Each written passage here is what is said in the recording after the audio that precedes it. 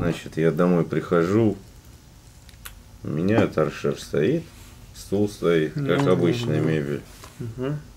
Ну, я всматриваюсь и вижу, что это замаскированные стоят люди. Он торшер, а руки по швам у него стоят. Мгм. Ну, если вот к нему подойти, он отойдет, да, или что? Ну, у них команда совершенно другая стоять. Мгм. я подошел, ну, пнул его там а кулаками. Не отреагировал? А, Отреагировал. Вышел он из маскировки уже. Ребра все потирает, ему плохо. Ну, вы человека побили, да? Ну, получается так. А женщина ваша что, видели что-то или так? Кто? Ну, жена. Женщины у меня бестолковые. Мгм. Они рот открыли, рубль дай. Понял. Я в милицию пошел, мне там человека с автоматом дали. Проверили, все ли в порядке? Пошли домой ко мне. Мгм. Он отыкал все с автоматом этим. И Ну, не нашли ничего? бригаду мне вызвали. Теперь вы здесь смотрите криминальную Россию. Здравствуй. привет! Никит, здравствуй. Здорово. Вот давай я тебя спрошу, как твое эмоциональное состояние. Эмоциональное? Да, вот- Ужасно, я в Турцию путевку купил, ребят. Какое еще у меня Ну, не состояние? Охуенное состояние, блядь. А. Лететь должен был на сегодня. Можешь обменять на поездку в Сочи. Очень Иди в пизду своими сачами, сам Ясно, туда едь. ясно, ясно. Ясненько. Ну что ж, друзья, здравствуйте. Рады вас приветствовать сегодня на Надо нашем... было закрыть. Да Рада, все, прости, Антон, да, прости, все, я, Это я, да. жизнь. Антон Власов, здравствуйте. Сегодня вместе с вами и Джек Гридин. Джек Гридин, к сожалению, обломался с э, поездкой в жаркие страны. Ну, ну, ну, ничего, ничего страшного в том году также было, ничего же. Съездил же как-то куда-то. Вот. Никуда не Чисто- а потому что нужно выбирать наши ленинградские заповедники, зубрятники туда Вольгин. съездить, да. И там вам полный спектр окажут услуг разных. Душ, Шарко, Дерсенваль. В Дубай поеду. Там 35 сейчас. Ой, ты там как Я отдохну. А будешь сидеть постоянно в этой в остановке автобусной, где похолоднее. Ну что ж, друзья, ладно. Мы сегодня собрались с вами по новому поводу, по новой серии, но не криминальной России. Я как-. В общем, а, мне Петр посоветовал посмотреть не менее ужасного маньяка-убийцу, который орудовал на территории тамошней Украины. Анатолий Анапоренко, блядь. Вот он самый, друзья. Значит, Вот. э, сха- я честно скажу тебе, Антон, э, вот это од- один из самых жутчайших вообще манипул. Жуткий. Жуткий, да. Ну вот, э, понимаете, да, вот жуткий на фоне тех, кто тоже убивал людей. То есть, Он кто убил несколько... Чудовище просто. Короче, вот этот мальчишка, как сказать, этот... Но это никак... Маньячишка, правильно сказать, да? Так. Ходил в квартиры и семьями убивал. Это просто на зверь ебаный.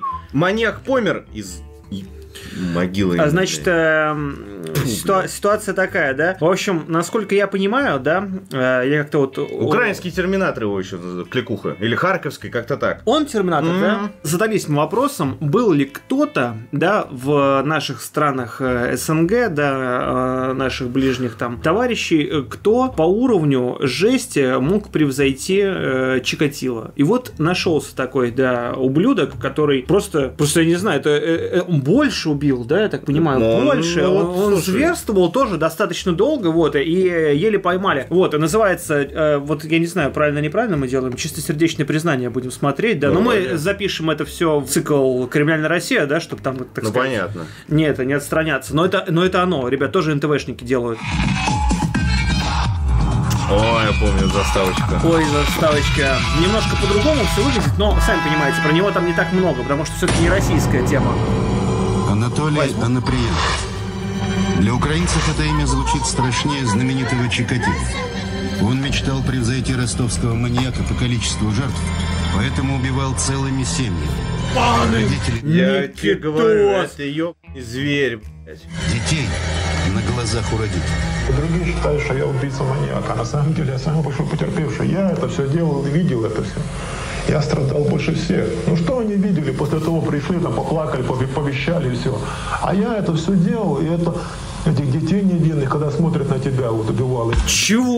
Чего? Понимаешь, да? Это, Понимаешь, это блядь, он, он настолько, настолько чувствует свою безнаказанность или что, да, вот он, такое вот у него убеждение, что он вообще потерпевший, да? Под дурика косит, блядь. Под дурика, под идиота косит. В Ох, хотел, ребята, блядь, угодить. какой жесткий выпуск у нас сегодня будет. Причем это будет, знаете что, я так понял, ну раз это чис- чистосердечное признание, кто смотрел, помнит, там все в перемешку. То есть там и интервью, и то, что случилось до, что случилось после. То есть это уже как бы, ну, такое расследование, да, больше. Мгм. Вот, э, при ком случилось, кто там был э, начальством, да, какие ошибки они сделали. То есть даже, ну, не то, что не интер- интереснее, а это даже как-то, ну, более такое а, обстоятельное расследование, что ли. В 99 году президент Украины Леонид Кучма, Кучма.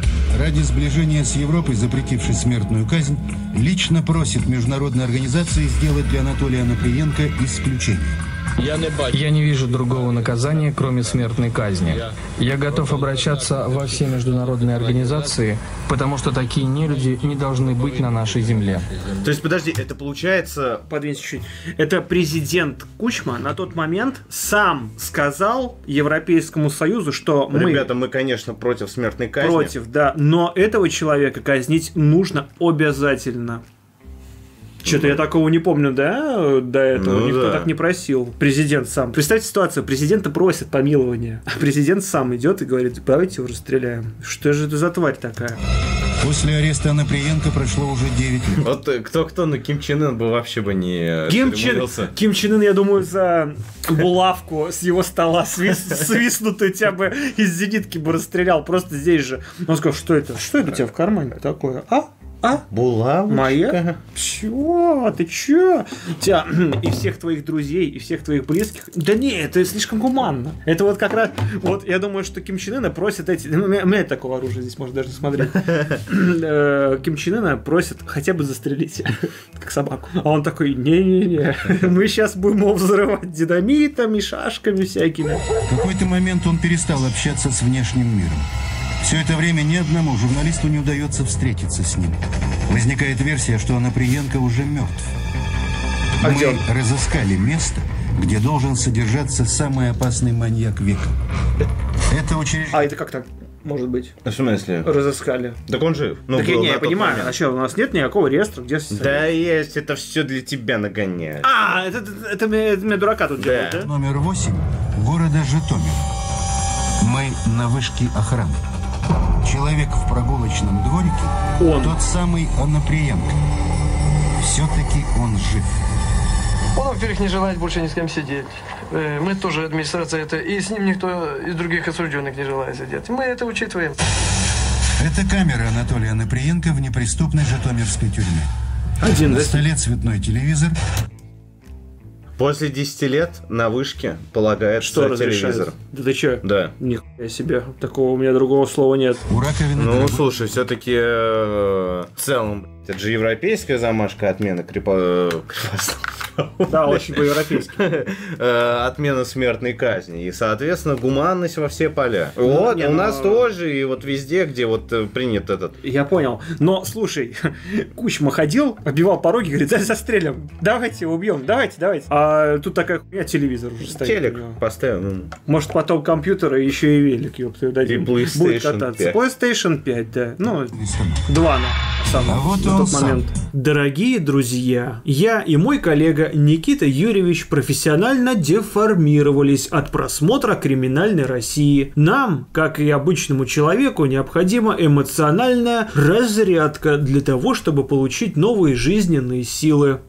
Меня вот всегда интересовали новинки игровой индустрии, но мощности моего следовательского ПК хватит разве что на сканирование отпечатков пальцев. Что не может не огорчать, ведь ни для кого не секрет, чтобы запустить новую игру необходимо мощное железо, а именно видео карта, которая сейчас стоит неоправданно дорого. Посмотрев на все это дело, на ценник, который завышен раза в три, Я уже было распрощался с AAA игровыми проектами, но на помощь мне пришли компьютерщики из gfn.ru. gfn.ru – будущее, которое уже наступило. Это современный облачный гейминг, который позволяет запускать новинки игровой индустрии с высочайшими настройками графики и RTX технологии от NVIDIA, даже на твоем слабом ПК. Нужен разве что выход в интернет. Но ты не ограничиваешь ограничивай себя в выборе, на чем поиграть. Ведь доступны не только ПК и ноутбуки. Если есть Android устройство или iOS, играй на них, GFN доступен и там. Вот я теперь наслаждаюсь красотами Night City в нашумевшем Киберпанке 2077 на своем ноутбуке, телефоне, а если надо, и на экране своего автомобиля.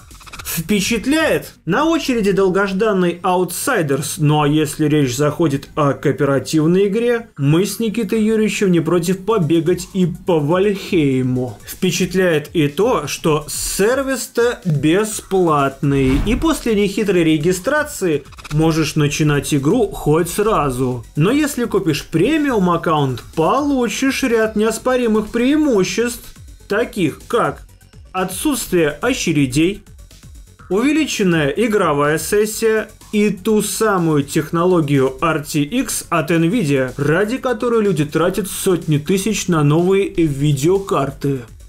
Поэтому пользуйся моим промокодом Власов и получай скидку 10% на премиум аккаунт. А вся информация находится в описании gfn.ru Начинай играть уже сейчас. На прогулке. Анаприенко отказывается работать Воздухом в тюремной подышать. мастерской, посвящая все время чтению. За годы заключения он лишь раз обращался к тюремному врачу с жалобой на насморк. За решеткой начал курить, стал замкнут и молчалив.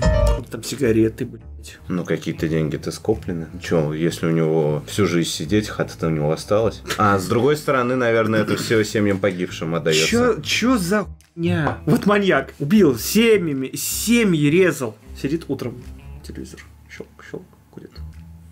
На прогулку, сейчас телевизор выключил, сигарету потушил, пошли погулять, воздухом подышать. Что такое? Книжечку мне К... принесите, а, почитать. И, да, и новый журнал, и прессу мне. Крестьянскую руку. Жертвами Анаприенко стали 52 человека по всей Украине. Места для преступлений он выбирал так, чтобы на карте страны они образовали крест. Ёба! На восток и с юга на север. Одной Украины его эксперимент не ограничивался. Ну это вообще... Он хотел поставить крест на всем человечестве. Вот это чудовище, самое натуральное, не себе.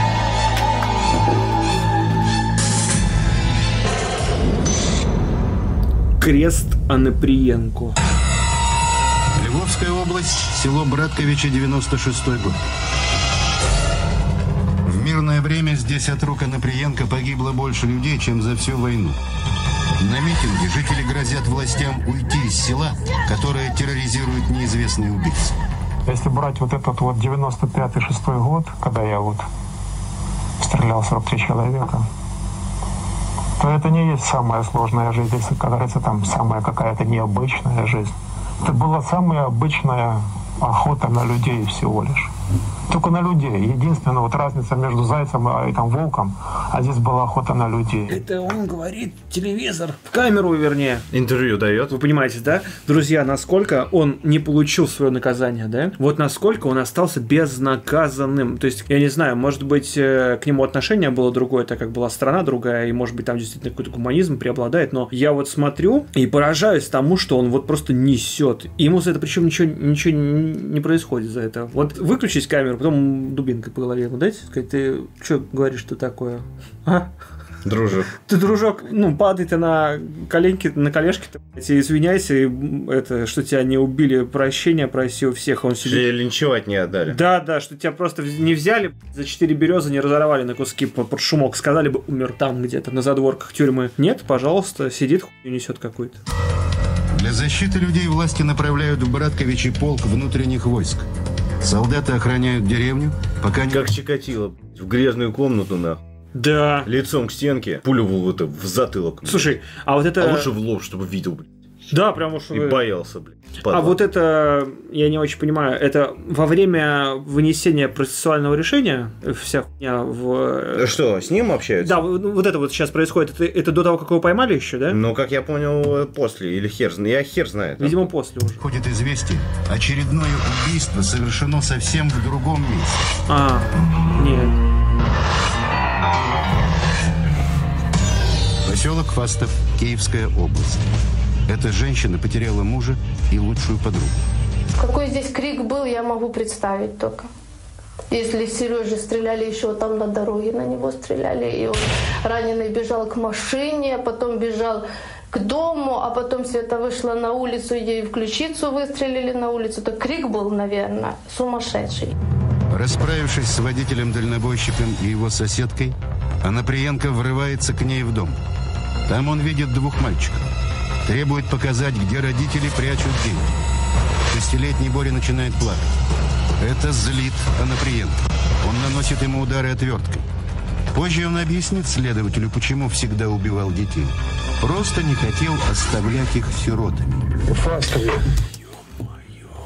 Да уж, Антон, ну и реакт хуй э, смотрим. Э, Реакт мы смотрим, конечно, вообще по жести. Я просто но, какой-то. но меня предупреждал Петр, говорит, это Антон э, вот из ряда вон выходящая хуйня. Это прямо вот ни на что не похоже. И я так подумал, еще думаю, ну, сколько мы видели всего, наверное, это что-то такое, знаете, ну, то есть, ну, не так уж, да, страшен черт. Но вот этот черт, он, Это- ре- это- он это очень бес, страшный. Это просто это какой-то дьявол, сатана. Я не знаю, как можно было вот такое вот вообще сказать, да. Я не хотел оставлять их просто сиротами. Вот будут детишки мучиться, родителей нет, убили у них на глазах, я их тоже заодно почикаю. Жесть, я такого не слышал ни, ни одного из маньяков, которых вот мы посмотрели до этого. Мальчик, когда мать уже сказала, что денег нету, когда я мать застрелил, потом брата его застрелил на глазах у него, и он лежит в постели. Я спрашиваю деньги, ты знаешь где? А он так встает спокойненько, 6 лет пацанчику, там или 7, встает, и говорит, пойдемте поищем. Я не сегодня всего стреляю в него. Ну и. Отец этого мальчика, дальнобойщик Василий Мороз, Ой, ребята, мы, по-моему, зашли слишком далеко, нет? Да не, нормально. в тот Да день нет. задержался в рейсе. Что это за музыка такая? Что-то какой-то, да, этот самый... яркая, не буду говорить. Только через сутки он узнал о смерти жены, двоих сыновей Что это за ка- Я ковбой? Я просто не понимаю, это как- как-то кощунственно, что ли? Тогда какую-то там музыку ставят такую нам веселую. и своего лучшего друга. Если бы мы были вместе, мы были бы вместе в могиле. Просто один раньше приехал, не, пове- не повезло. На сутки раньше приехал домой и встретила его там смерть. В ту ночь Василий потерял всю семью, а Лилия осталась одна с двумя маленькими дочерьми. В феврале 96 Как, как вообще вот жить после, Я не знаю. Ну вот это вот прямо... после такого? Вот эти все маньяки жалуются всегда. Вот, у меня в жизни там такое потрясение, да, случилось.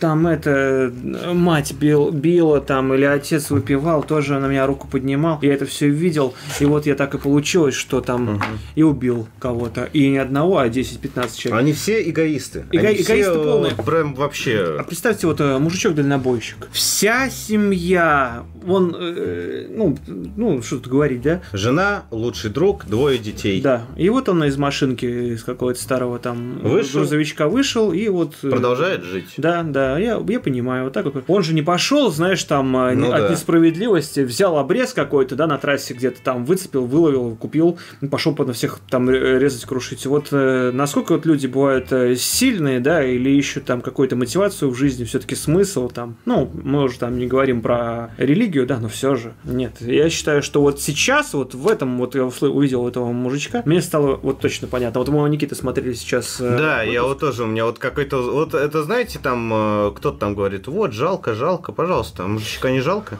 А мужичок, да, чем... Не, не пошел он после всего этого, там, ой, детство загубили, а ему всю жизнь загубили. Всю жизнь сломано. А у него детство уже все, оно было, и сейчас он уже не молодой, и заново это, да, ну смысл какой, да, я думаю, что, наверное, уже заново стартанет не каждый, далеко не каждый там найдет себе там вторую половинку, когда у тебя такая хуйня случилась. Все вот просто живет. Руководителем следственной группы назначают Ивана Довбычука. Он первым обратил внимание, что на разных местах преступления совпадают следы мужских ботинок. Поняли, что это действует один и тот же человек. Позже, после ареста, обладатель тех самых ботинок с видимым удовольствием демонстрирует пренебрежение к собственной жизни. Даже свою возможную казнь, на которой настаивают родственники погибших, он хочет превратить в спектакль. Что меня разорвали на машинах или на лошадях, я не боюсь этого. Поэтому я считаю, что нужно, наоборот, провести, значит, серию таких вот смертных казней, может, даже каких-то публичных, чтобы люди задумались, что на Украине беспределом заниматься нельзя.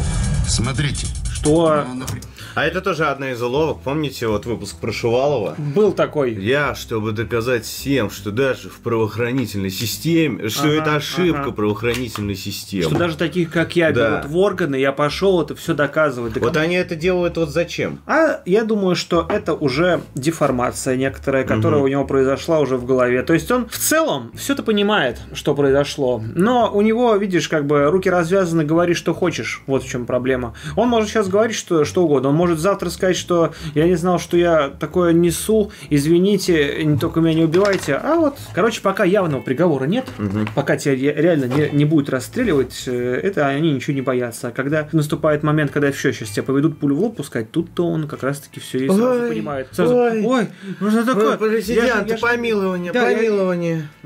А президент сам сходил пороги обивал, чтобы тебя застрелили. Янко надет бронежилет. Во время очередного следственного эксперимента Покушение? местные жители перевернули милицейский автобус с преступником, требуя его немедленной казни. Когда мы э, начали выходить, на него одели бронежилет. До этого, значит, не надевали. Он, конечно, сразу побелел. Такой, э, я так говорю, Толя, жить хочешь, видно, что боишься. Слушайте, так странно, конечно. Вот вы Э, заметили, Когда как- оперативники относятся... Э, Следаки очень часто, то есть они вот Чикатило же, ну вот те, особенно кто вел дело, не называют Чикатило, там, Чикатило Да, да. или они... Романыч. Романыч говорят. Ну, когда с Романычем беседовали, вот, или Муханкина, как там они его называли, просто Володя. Ну, да, да, да, да, да. Вова. Она тоже Толя. А? Толя, жить хочешь. Толик. Ну, вот этому чуваку. А, сейчас, да, да, да, да, То- да. Толя, один бронежилет. Почему так интересно? Это как Ну, дружок, типа, или что? Ну, не, я думаю, что все-таки это их работа. Вот, и относиться нужно к этой работе тоже с долей ответственности. Все-таки ты же понимаешь, да, что если сейчас этого чувака прямо здесь э, самосуд случится, то отвечать э, будут все равно они за Мгм. это, потому что это погоны могут слететь, еще что-то. Ну, типа, как у вас работает судебная система, да?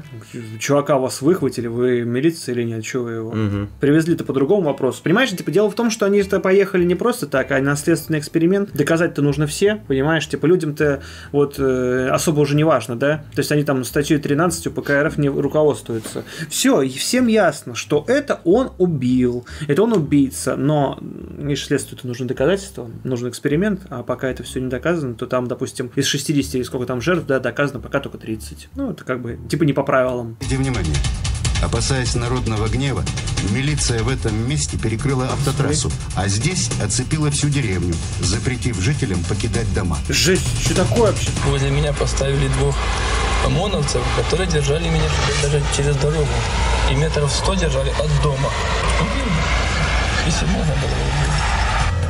Времена, когда, отправив серийного убийцу на виселицу, люди успокаивались, давно прошли. Сегодня важнее не только поймать, но и понять маньяка, чтобы предотвратить подобные преступления. Меня интересует смерть больше, чем жизнь. Мне не интересна жизнь. Вот э, мы смотрели с Юликом Веронику Степанову.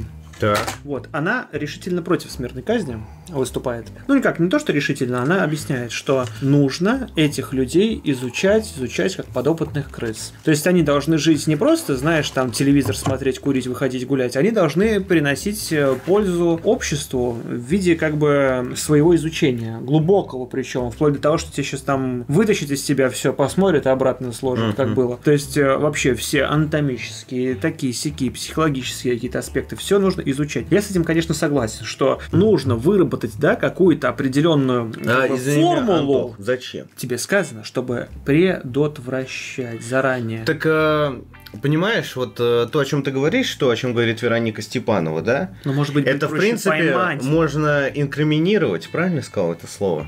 Инкриминировать что? Инкриминировать на всю большую науку. В том смысле, Ну, что... применить скорее. Применить, да. А инкриминировать, значит, да, обвинить, да?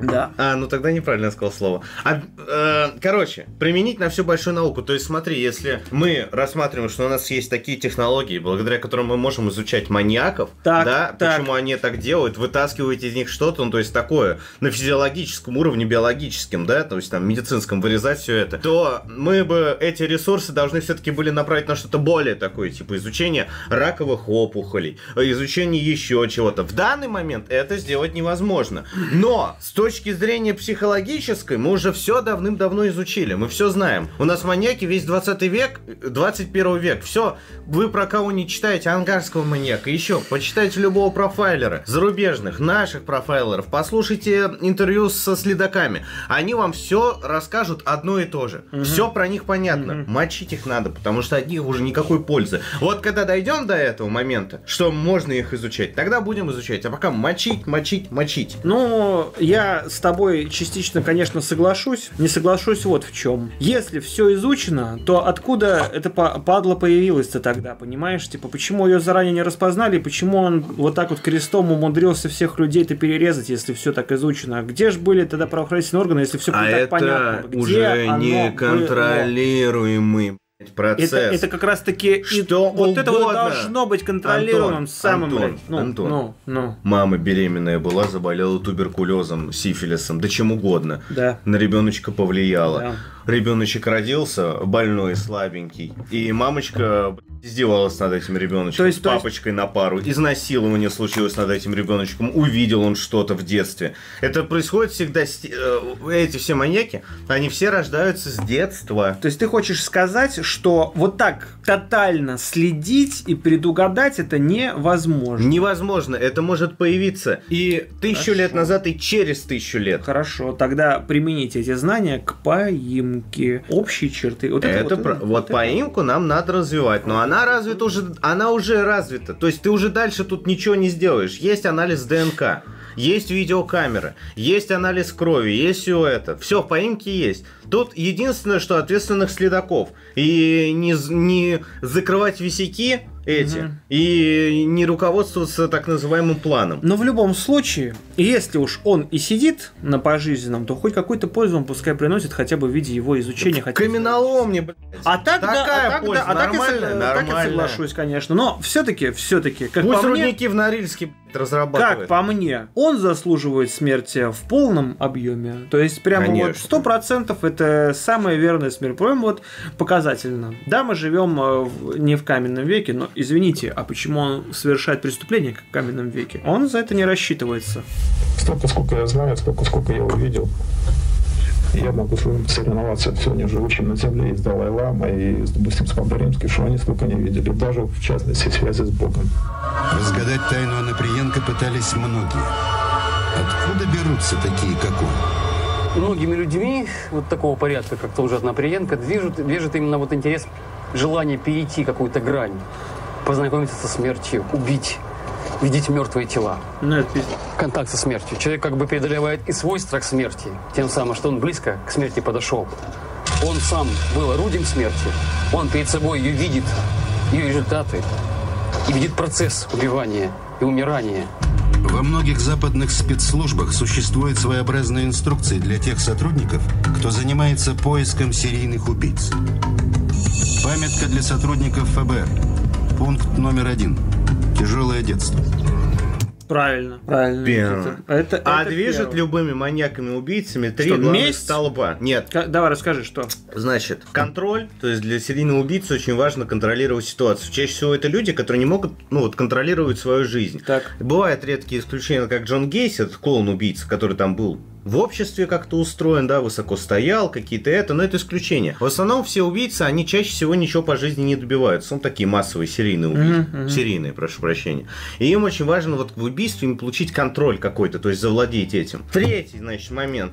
Это э, манипуляторство. Подожди, Это был первый все еще. был Первое контроль. Первый контроль. Да, второе. Второе манипулятивность, ну или Ага. как это называют. То есть, чтобы человек мог управлять кем-то. То есть, вла- вла- власть какую-то Так, почувствовать. ага. Да? Власть почувствовать над в целом человеком, над жизнью человека. Они не Вот он имеют- решает, жить ему Да, или вот он умереть, да? решает власть, да. А третья я забыл. Одна такая книга у меня про. Это знаем, конечно, знаем флаг Российской Федерации. Красный значит красиво, белое не помню, синее не знаю, белое я не знаю. Ну ясно, Никит, понятно. Это книга моя, Гринин профайлер. Обыкновенный профайлер, вот перед нами сидит сейчас. Это не помню, это тоже не помню. А вот Антон Чигур был по этим всем канонам маньяком. Чигур не маньяк. Если мы киношно, конечно, Он- он рассмотрим. убийца. Он убийца. Убийцы и маньяки это разные Но вещи. он решал монеткой вопрос. Он решал, ну, это скорее как-то его психопатию, да, э, определенно описывало. Но, в общем и целом, убийца-то, если послушаешь убийцу, как бы это ни звучало противоречиво, но убийцы это не всегда кровожадные люди. То есть некоторые... Не, ну убийца может быть по Наемные, да, на, нет, я имею в виду наемные, к примеру, убийцы, да, Да. или военные. Ну, Они понятно. чаще всего это не воспринимают как убийство. То есть нет, это убийство, да, но устранение цели. Вот как правильно. Ясно. Очень многие наемники это бывшие какие-то там спецслужбы. ГРУ. Такие вещи, Антон, тебе вообще. Ты что, ребят, Слушай, даже не надо на ночь, будешь плохо спать. Бляха, знаешь, очень много как-то Не ты, а? надо тебе этого знать. Понял тебя. И вам не надо. Ты вообще что тут делаешь, школьник? Да, Иди посмотри мультики, блин. Канал это Ю, блядь. Кот- О! Котик Дуду и котенок Пипи. Иди, детский канал, я дочери включаю, чтобы успокаивалась, быстрее А, засыпает. а паровозик Смотри, Томас, ёпта, садись вот Приключения всех этих этот паровозиков. веселый поездок. И давай. Да, это самое там смесь. Ты А- уйди отсюда. А друг наш любезный, Дружок, а ты ты, да, который пришел к нам сюда по делу, да, который хочет разобраться во всем этом. Мы что-то, мы, думаете, шутки шутим, смеемся здесь, это... Антон, Ну, ну, подвинь чуть-чуть. О. Не, нет, тут другую А, сторону. Подвинься, Ну, еще Ай, чуть-чуть. ну-ка. А ты сюда садись, друг. А ты, да. Местечко для тебя. Для тебя, не, для себя вот сюда вот на полочку присаживайся. И с нами посмотри, потому что... Чаек, кофеек. Можно маме позвонить. Все у нас четко. Четенько. Анатолий Анаприенко был поздним ребенком. Роды прошли с осложнениями. Его матери было уже за 40. Отец бросил семью. Через три года мать умерла. Толик оказался в детском доме. Ой, Там мальчик понял, что внутри него живут два существа. всегда было два человека. Вот этот Тихоня был, который наблюдал за жизнью со стороны. И был тот, который участвовал в этой жизни. После детдома Анатолий Анаприенко поступает в лесной техникум. И Евгений Зайченко принимала у него вступительные экзамены. Учился посредственно. На третьем курсе исключили за, плохой, за плохую успеваемость.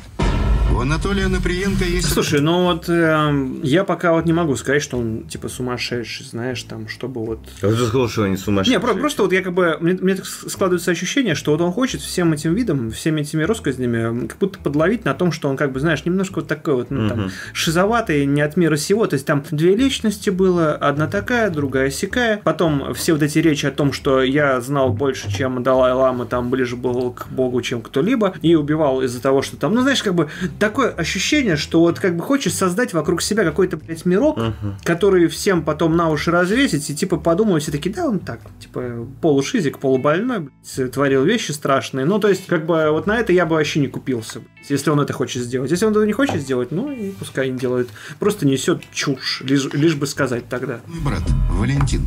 Старше его на 14 лет. Сейчас Валентин Анаприенко пенсионер. Живет в Житомирской области. Хотя я брат, что сейчас вот эти гуманные законы, его, конечно, надо было лишить жизни. Но он ему уже не брат, я уверен. То Ну, есть, э, за- совершив, совершив такое, знаешь, там, это никто тебе не скажет там. Так, да. Только мать. Ну, если только мать, да, а мать или нет. Чубу Анаприенко уходит в армию. После службы он заканчивает Одесское мореходное училище и ходит в рейсы на пассажирском теплоходе «Максим Горький». Занимаясь контрабандой и форцовкой, собирает небольшой капитал. Я был молодой, у меня еще, как говорится, все было при себе, тело было, все по мужской линии было в порядке. Я, естественно, хотел жениться, наверное. До 30 лет была нормальная, прекрасная жизнь. Были деньги, были машины, было, ну, было практически все. Так, В 87 году его уволили из пароходства. Пришлось начинать новую жизнь на берегу. Стать пожарным. Ну, какая зарплата пожарника? Ну, конечно, меньше, чем на флоте. И когда он сюда приезжал к родственникам, то одни презенты были, когда он приезжал моряком, и другие презенты, Ну, когда он понятно. был пожарником. Денег не хватало, да? Анаприенко быстро дослужился до командира отделения, вступил в партию. Все отмечают, что он очень тренированный человек. Он мог полностью в экипировке, пожарной экипировке, сделать сальто с ног на, го- э, с с ног на ноги. Вскоре у Анаприенко рождается сын, но тот отказывается от его воспитания. Мне убить своего сына, хотя я практически не воспитывал его, гораздо легче, допустим, чем было убивать именно невинных людей. Потому что я признавал, что это не то, что маленькие дети, это просто не мои дети. Ну, убить своего сына, когда ты знаешь, что его родил, это легко. А вот убить невинного ребенка, это очень трудно. Чё? Я, я вообще... Чё-то- Подожди, логика какая? Что вот есть мои дети, да? Да. Они И- невинные. Или что? По последней фразе я понял следующее. Он сказал, что как бы часть тебя, ребенок твой, ты его типа убивать легко. А вот чужих детей, это типа, ну, не знаю, может быть, он рассматривает своего ребенка как свою собственность, знаешь, Мгм. там типа того, что я вот могу его убить и все, я убью. А чужих детей, типа, говорит, очень тяжело, потому что они не мои, там, и не знаешь. Ну, как-то, блядь, э, ну, подожди, да еще раз послушаем, но мне показалось, что именно то он сказал. Своего сына, хотя я практически не воспитывал его, гораздо легче, допустим, чем было убивать именно невинных людей. Потому что я признавал, что это не то, что маленькие дети, это просто не мои дети. Ну, убить своего сына, когда ты знаешь, что его родил, это легко. Вот этот момент, да? То есть у него все наоборот такое ощущение. Я знаю, опять же, он говорит это все специально или нет, но своего собственного для него убить легче, чем... э, Но его он не убил. Я думаю, что просто в один момент шизу поймал какую-то такую. Не знаю, это что-то такое, что пока как мне непонятно. Да, человек. Но он не шиз. Понимаешь, в чем дело-то? Он не шиз. Он какую-то философию строит вокруг своих деяний, но это не то же самое, что мы смотрим медфильм, когда там люди дела мои никудышные, и там Патаршер убил, это оказался военный американский. Ага. То есть это что-то из области поиска логики тому, что он натворил.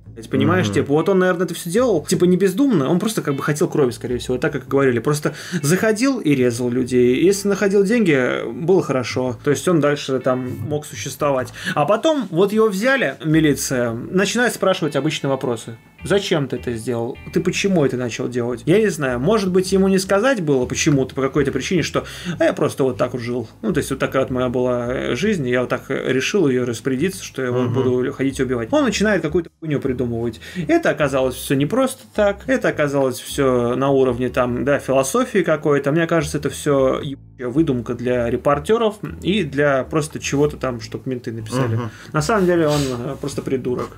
Как вот А сказал. вот убить невинного ребенка, это очень трудно. В 89 году Тихоня в душе Анатолия Наприенко окончательно сдается перед натиском его второго «я». Первое убийство он совершил спонтанно. Увидев заснувших в машине торговцев черешней, расстреливает их через стекло. Потом убивает прохожего на лесной тропинке. Потом водителя грузовика, который остановился на просьбу о помощи. За два месяца он убил 9 человек. Анаприенко можно было остановить после того, когда он совершил 9 убийств. Распробовав вкус крови, Анаприенко чуть не попадает в руки милиции. Сотрудники ГАИ преследуют его автомобиль. Машина находится в розыске. Анаприенко уходит от погони. Неужели в тот же день он бежит из Украины. То есть поняли, да? Была погоня, не сказал просто диктор о том, что упустили его, но по факту упус- упустили. Ну да. да. Смог уехать, короче, да, от э, машины милиции. Жесть, блядь. Его бумага, вот все. А как так получилось? Неужели там нельзя было на следующий пост передать? Как, как он блядь, уехал-то с трассы-то? Куда он мог Не, ну как я понял, у него какая-то вот эта подготовка. Знаю. была, да? Ну да, потому что там и на флоте служба, и пожарник в полном обмундировании сальто умеет Ну, делать. машина-то, это не то же самое. Он же, Ну, блядь, почему? Не Ну, на ногах бежал, он то это не тоже- Флинстоун, ёпта.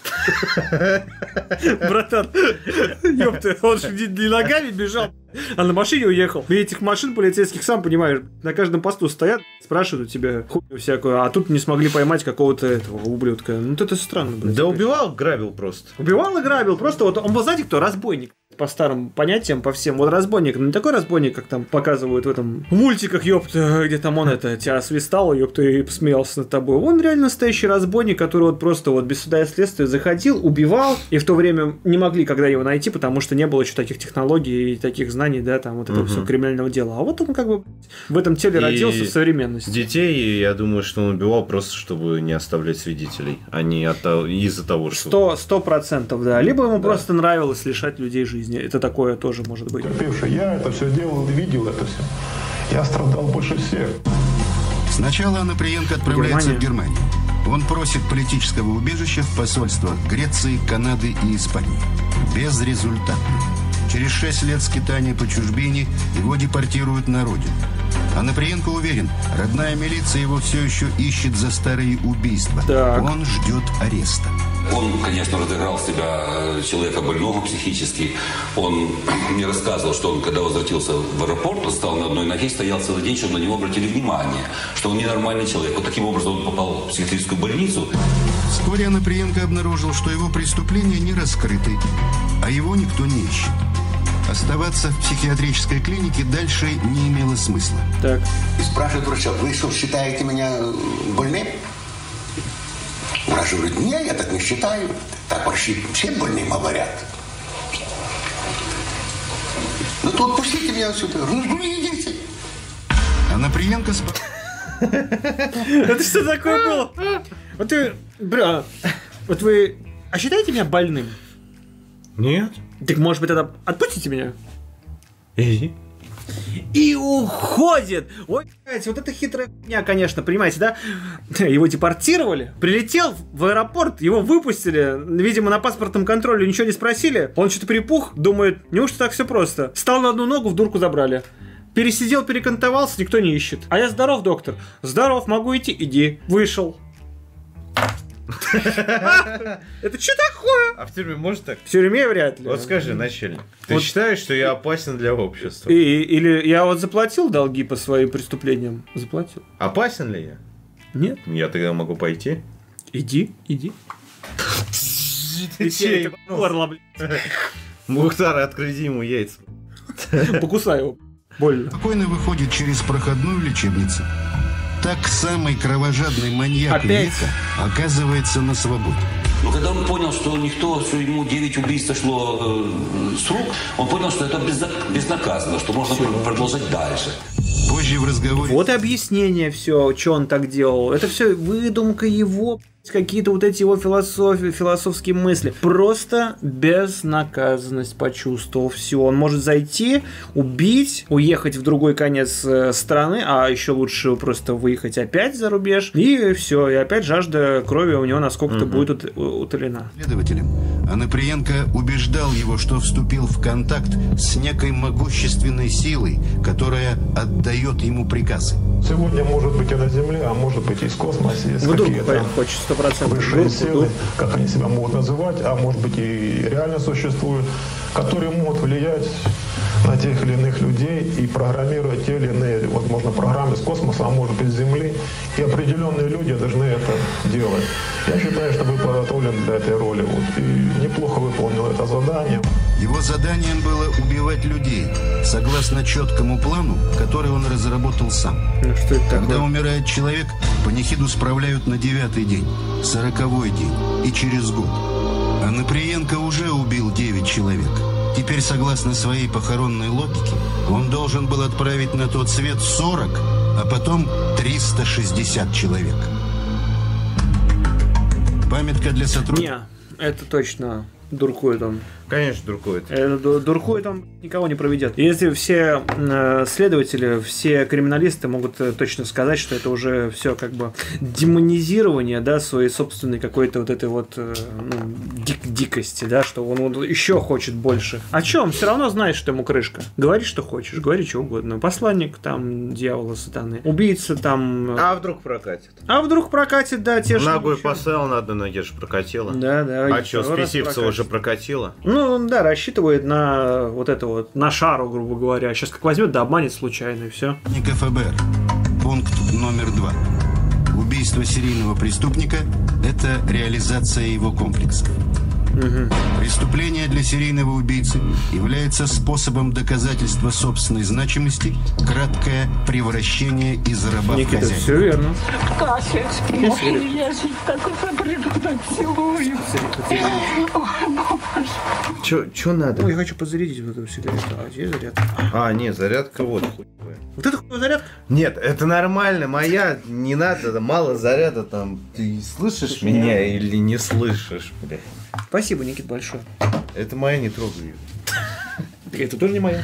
И это не твоя. И пистолет тоже мой, кстати. Мы его взяли. Видел я. Ну, мы же его взяли. Ну, понял я.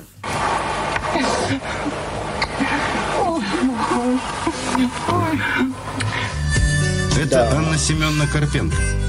Зимой 96-го Анатолий Я тоже не понимаю, это что такое? Это какая-то вот ностальгия или по- почему-то? Я, я, я тоже не понимаю, ковбой Мальбро какой-то пошел.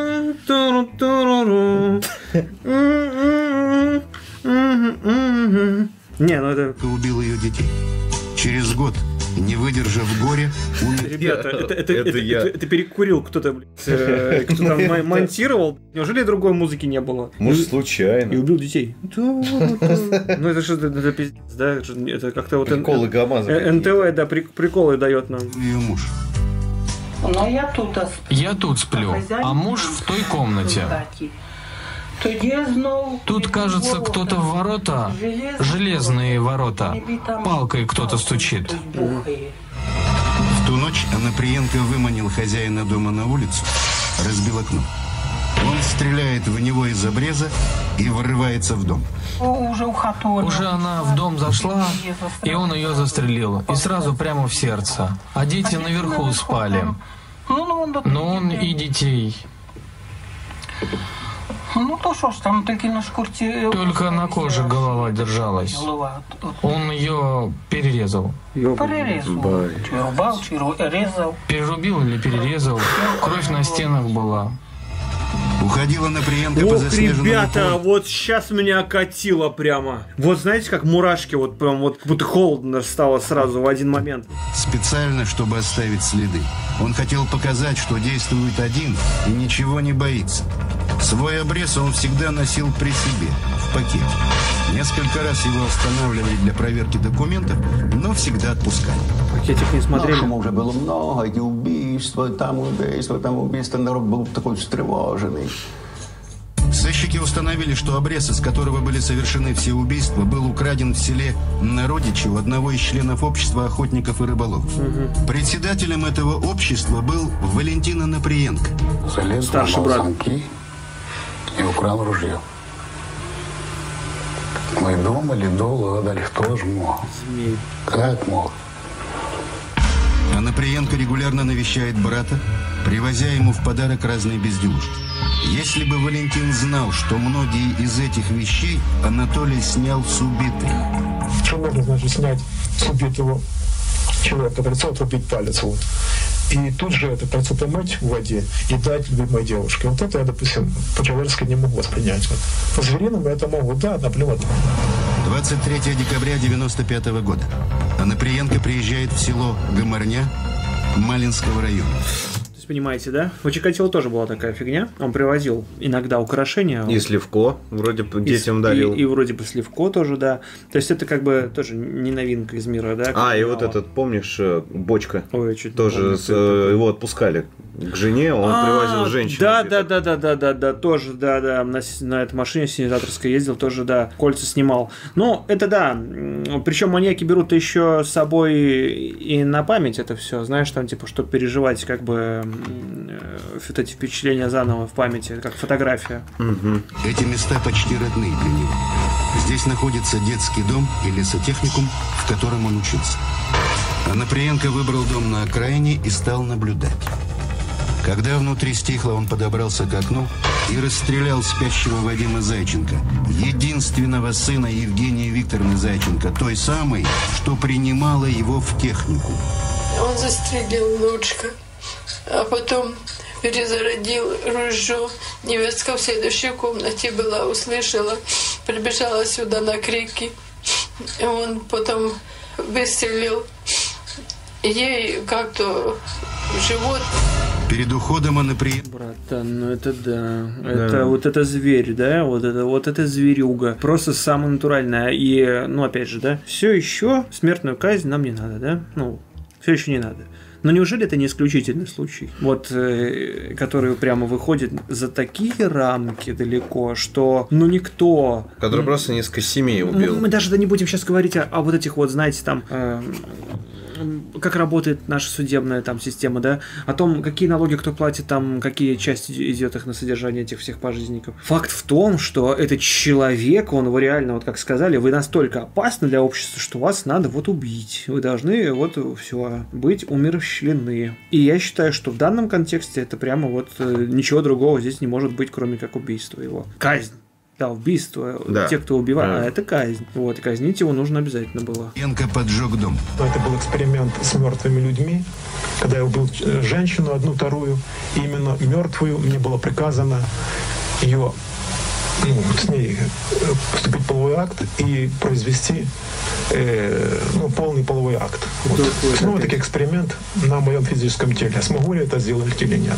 Схватили Анаприенко в апреле 96-го в военном... Опять же, все прикрывается э, трус, потому что, да, ребята, ну, на мой, ну, я лично так считаю, трус вообще полнейший. То есть он в, как сказать, э, преимущественно с обреза всех убивал, Мгм. да. Если резал, то маленьких, извините, детей, вот, э, либо женщин, там, я что-то не слышал, чтобы он на мужика накинулся, знаешь, там, типа, заведомо непонятными шансами с ножом. Вот, все с обреза, все издалека. Теперь опять э, рассказывают какие-то байки о том, что ему какая-то высшая сила сказала, а не он сам так Да, решил. Да, да, да. Дуркует, дуркует. Да. В городке Яворов. Сосед женщины, у которой остановился Наприенко, донес на чужака в милицию.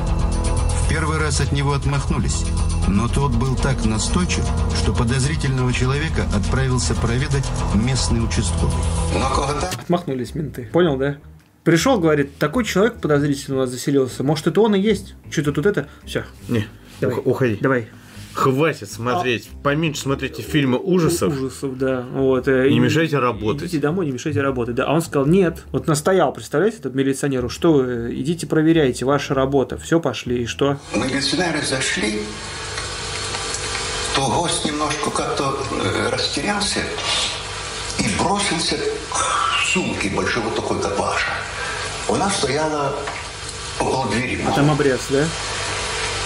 Милиционеры инстинктивно, внутренне, профессионально ему преградили дорогу до этой сумки. И за руки. Открыли сумку, а там обрез. Кроме оружия в сумке Анаприенко лежали вещи убитых. Все ясно. На первых допросах Анаприенко рассказал, что послан высшими силами Вот не было бы того мужика, который настоял бы, опять же, да, опять вот я убеждаюсь, у нас все какой-то случай. Опять- случайность. Опять случайность какая-то. Менты пришли, иди вон. Какой ты там, иди ты нахер. Нет, проверьте. Обрез, сумку, убитые. Сам, он оказался сумасшедшего корчит. Кто, кого поймали? Представляете, да, а мужик, э, я не знаю, потом ему как э, оперативники в глаза сказали, слушай, ты был надо было сразу нам ехать. ну ты, да. ты не говори там, что мы тебя послали сперва. Ты скажи, что мы сразу... Скажи, что мы сразу выехали, там, пять машин. чтобы наказать свой народ. Я считаю, что это была прививка против лихорадочного коммунизма. Вторая, значит, убийства были против бешеного национализма. И третья серия убийств должна была быть против чумы 21 века. Они не совершились, поэтому чума 21 века начнется. Эксперты вынесли заключение. Анаприенко здоров и может полностью контролировать свои действия. Все правильно. Существовали подозрения, что преступник оговаривает себя. У адвоката со своим подзащитным сложились доверительные отношения. Он ответил очень четко и ясно. Он сказал, Руслан Иванович, у меня вот такие руки полностью все в крови. Все мои эпизоды. На следствии стали известны дальнейшие планы Анаприенко. Он собирался раскинуть свой крест истребления на всю Европу.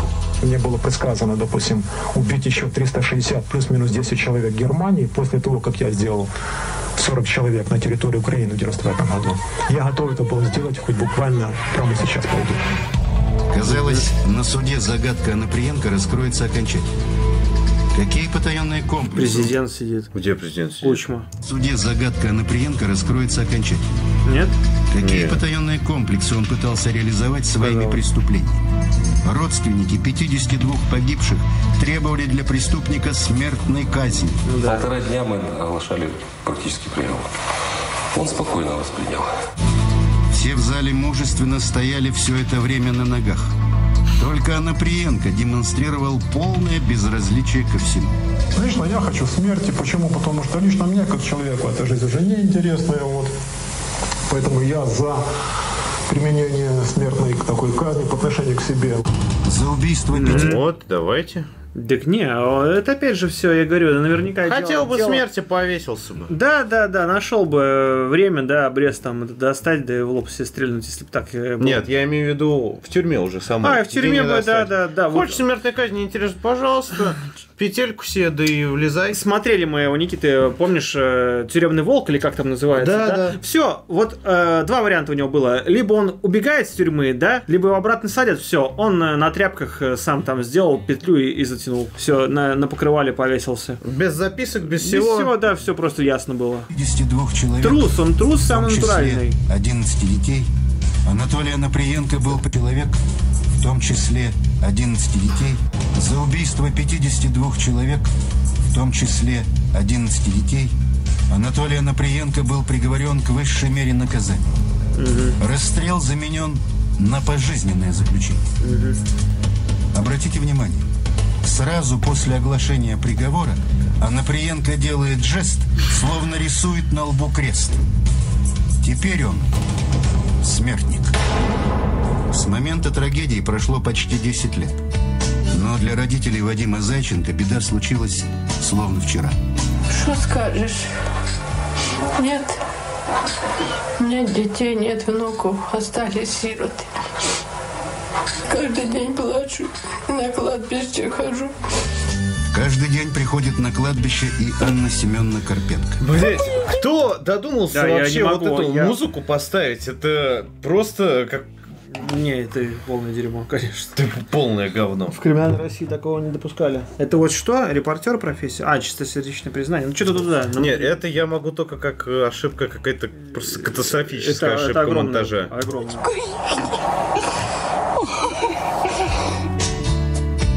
Это Сергей Марусин.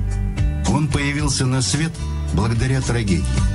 Тогда его мама, Лиля Заграничная, потеряла мужа, а отец Василий Марусин – жену и сыновей. Через Ну, звук, как будто вот в 16 смотрю. Да, в натуре. год его родители поженились. Было тяжело смотреть, как Вася, допустим, я знала, что у меня есть девочки, меня есть ради кого жить, а он ну, вообще был в отчаянии. Мы поженились и все. Я остался, сам остался без детей. Убили двух сыновей. Ну, вот хорошо, что у него сложилось тогда. Вот, Да, э, что как-то... Поддержали его, и ну, смысл жизни опять есть, конечно, это... Со сына назвали Сергей, в честь первого мужа его мамы и друга папы. Мальчик удивительно похож на своего брата Борю, которого видел только на фотографии. Дом Анаприенко в его родном Снесли? селе кто-то разобрал за одну ночь, оставив на этом месте кучу мусора. Не простил предательство Анатолию и его старший брат. Валентин ни разу не навестил его в тюрьме.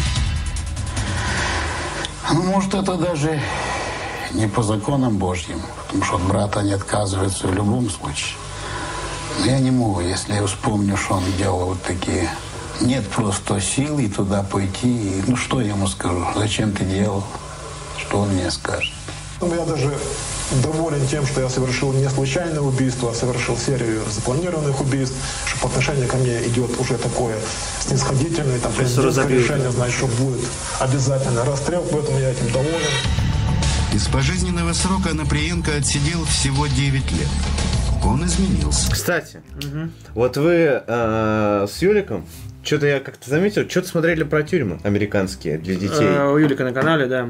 И у вас возник вопрос, почему у них робы оранжевые. Да. Вот. Почему? У меня есть версия. Давай. А, потому что во всех тюрьмах есть вышки. И просто-напросто человека в оранжевой робе намного легче увидеть издалека, чем Ну, человека в Черно-белый Робин. Бля, братан, да не так понятно. Я думал, ты мне скажешь что-то более интересное. Ну, я не знаю. а я, я-то думал, что что-то ты мне такое скажешь. Я, не, это понятно все, что в чувака в куртке ярко попасть легче, чем черный.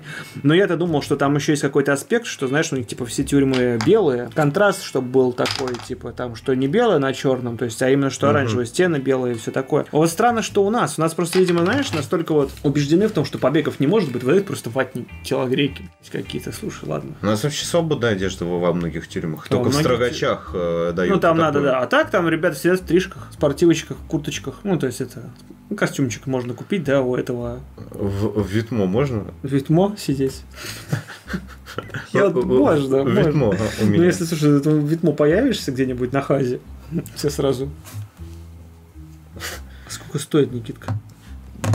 Сколько стоит? Слушай, не- не- Антошка, не знать тебе лучше. Не нужна тебе такая футболка, И, Антон? и я вот так, знаешь, это... Пацаны, а что за прикол-то? Что это за, за кофта такая? Котики? Коты, коты. Ты чё, брат? Я папа попутал. Давай в карты. На, на задницу. Администрация Житомирской тюрьмы отмечает его примерное поведение и аккуратность в быту. Про таких заключенных говорят «встал на путь исправления». Всегда кровать заправлена, в камере у него нормально, что он, ну, Будем говорить, к режиму содержания хорошо относится. А Вежливый, ведет себя тактично. По закону, через 20 лет он сможет обратиться с прошением о помиловании. Теоретически возможно помилование, возможно все может быть. Памятка для сотрудника ФБР.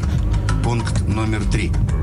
Маньяк никогда не останавливается. Вот, вот этот номер три нам нужно применять и к Мохову прямо сейчас.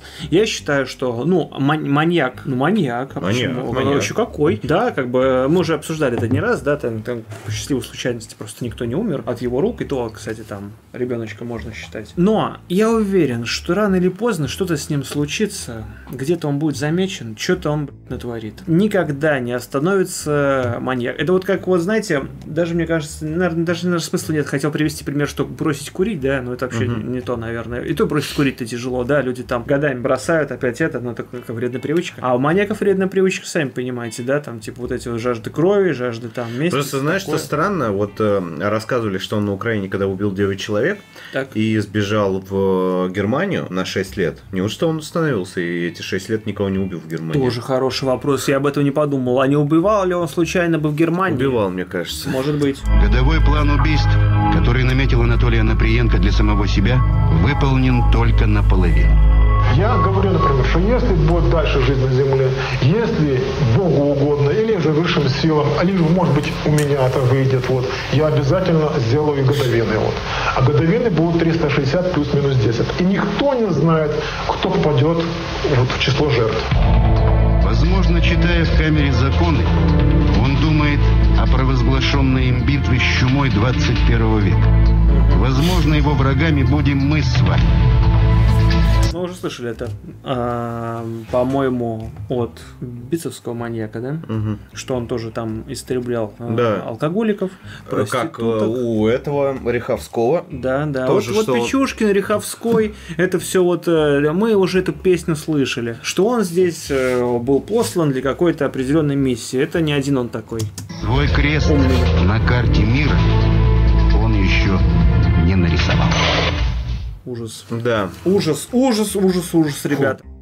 Это был очень тяжелый выпуск. Даже я, я скажу вам так: все выпуски ужасные, да, не надо там говорить, что этот был попроще, этот был пожестче, потому что это все за этими выпусками э, стоят э, жизни людей, да, которые были загублены. Но отметить, что это из ряда вон выходящая да, э, ситуация, что она произошла, во-первых, в смежной нам стране, да, в Украине, вот где. Ну, я не особо разницы между, ну, это и в России могло произойти. Я просто говорю о том, что Да и в Германии. везде, везде повсеместно это все происходит, то есть никто там, да, а, уровнем жизни, все такого, ну, взять там Фрица Хонку, да, того же, то есть тоже жил как бы двери были все открыты даже в то время там в Германии или где он там, ну да. Мгм. Все может случиться где угодно, и поэтому нужно быть максимально, друзья, внимательными. Берите с собой средства обороны. Мы уже не раз говорили, нож какой-нибудь, ну ладно, Да перцовку. нож, пер- перцовку возьмите, Самый да. надежный Самый надежный, прав, э, перцовку. Все, друзья, будьте внимательны. Вот такой вот выпуск чудовищный, вот, но про него нужно было рассказать, потому что